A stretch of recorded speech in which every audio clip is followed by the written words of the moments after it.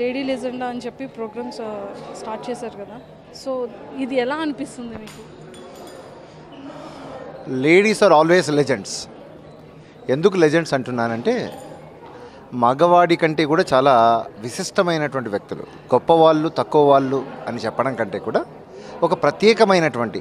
ఎందుకంటే సహనం అలాగే ఇవ్వడం పంచుకోవడం ప్రేమ షరతులు లేనటువంటి ప్రేమ శక్తి ఇవన్నీ కూడా ఆడవారిలో చాలా ప్రత్యేకంగా ఉంటాయన్నట్టు.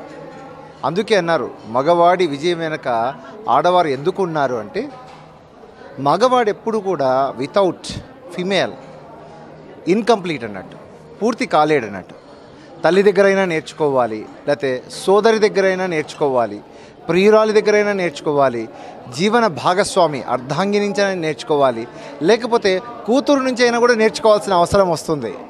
ఎందుకంటే మగవాడు పూర్ణ పురుషుడు కావాలంటే తప్పకుండా మనము శక్తికి సంకేతమైనటువంటి ప్రకృతికి ఆరాధ్యంగా చూస్తున్నటువంటి ఆడవారు ఎవరైతే ఉన్నారో వారి యొక్క సపోర్ట్ అనేటువంటిది.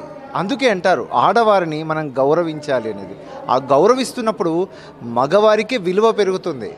మగవారు ఆడవారిని తక్కువ చూడడం అనేటువంటిది వారిలో ఉన్నటువంటి సగ భాగాన్ని ఫెమినైన్ ఎనర్జీస్ను తక్కువ చేసుకుంటున్నప్పుడు ఎప్పుడు కూడా మగవాడు పూర్ణ పురుషుడు కాలేడు. ఎక్కడైతే ఎత్ర నారీ పూజ్యంతే తత్ర దేవతా రమంతి అన్నట్లుగా ఈ విధంగా లేడీ లెజెండ్స్ ద్వారా ఆడవారిలో ఉన్నటువంటి వినూత్నమైనటువంటి ప్రత్యేకమైనటువంటి శక్తిని మేల్కొల్పేటువంటి ప్రయత్నం. మీరు ఎవరికి కూడా తక్కువ కారు అన్నటువంటి విధంగా ఈ రకంగా ప్రోత్సాహం అనేటువంటిది తప్పకుండా ఆడవారు ఎదుగుతూ ఉన్నప్పుడు ఆడవారు పటిష్టమవుతున్నప్పుడు మగజాతి అంతా కూడా ఇంకా పటిష్టమవుతుంది కాబట్టి మగవారి బాధ్యత ఆడవారిని కించపరచకుండా గౌరవించడం అనేటువంటిది దీనిలో భాగంగానే జరుగుతున్నటువంటి లేడీ లెజెండ్స్ వారందరికీ కూడా ప్రత్యేక అభినందనలు.